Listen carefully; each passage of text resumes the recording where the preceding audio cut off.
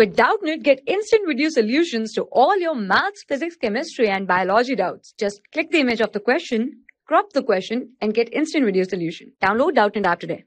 If we talk about this question, in this question we are asked to illustrate only a plant cell as seen under electron microscope. How is it different from the animal cell?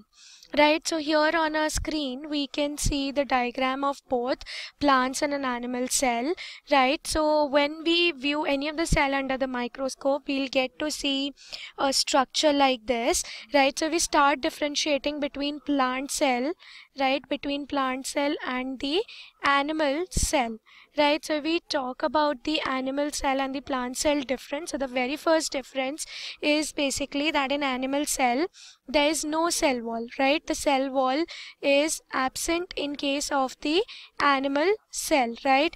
Whereas in case of the plant cell the cell wall is present right? Cell wall is the outermost membrane in the plant cell right? Then outermost layer right? Now the second uh, difference is basically that in animal cell plastids are present right? Sorry plastids are absent. So plastids they have a role that they basically contains the right they basically contains the pigment. Hence plastid are present in the plant cell and they were found to be absent in the animal cell. Now the next point of difference is basically that animal cell have some two to three small vacuoles.